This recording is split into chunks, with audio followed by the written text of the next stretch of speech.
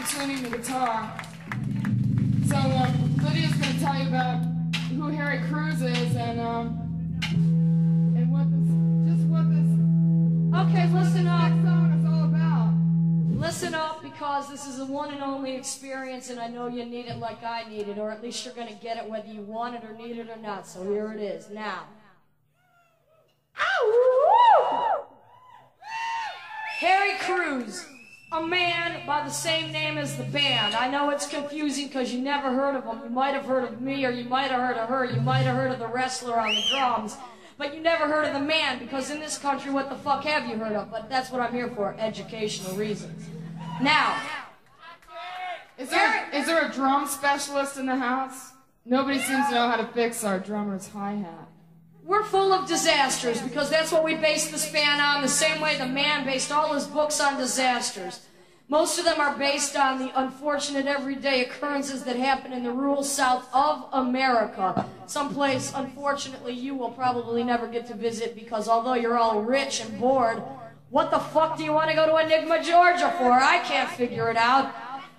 Oh, fuck yourself, baby, because it's faster, it's quicker, it means more to you, and it's cheap. And I know you're cheap deep down inside. Now.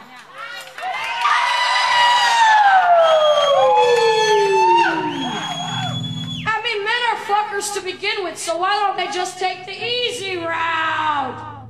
Anyway, Harry Crews, a man that looks like one of those kind of dogs that ain't got no fur on their body that are full of wrinkles.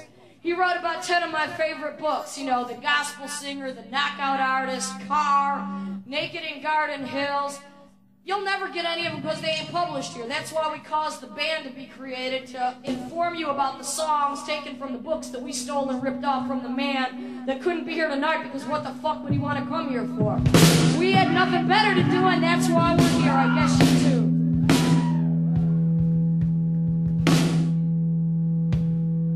We're trying to get people to read. You know, there's uh, just too much music. You know, it's too much. What's the big deal about music? Our message is Not enough books. It's read.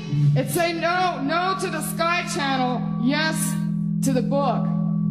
Back to books, you fucking ignoramuses. I mean, if I didn't read, I'd be dead. If I didn't write, I'd be dead. I probably am dead anyway. I can't figure it out. People don't censor violence in books because they think that nobody reads.